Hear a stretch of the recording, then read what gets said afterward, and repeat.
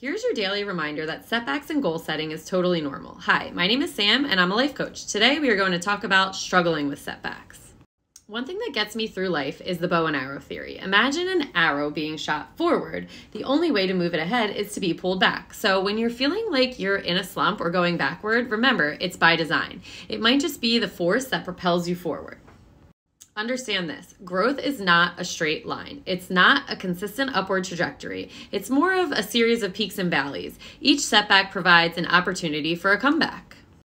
Now, let's talk about consistency and discipline. The real reason you might be struggling is that you haven't acknowledged the power of embracing setbacks. Life isn't always about smooth sailing, it's about navigating through the storms and coming out stronger on the other side. Think of your journey as a dance. Sometimes a step back is just setting the stage for a bigger leap forward. It's okay not to be on top of your game every single day. Resilience is key. It's not about avoiding setbacks, but how you bounce back from them. Each setback is an opportunity to develop resilience, strength, and a deeper understanding of yourself. So, next time you face a setback, don't see it as a roadblock, see it as a detour leading you to a more profound understanding of your path. There you have it, embracing setbacks and understanding the bow and arrow theory. For more insights, exercises, and guidance, check out my journal, the Happiness Journal.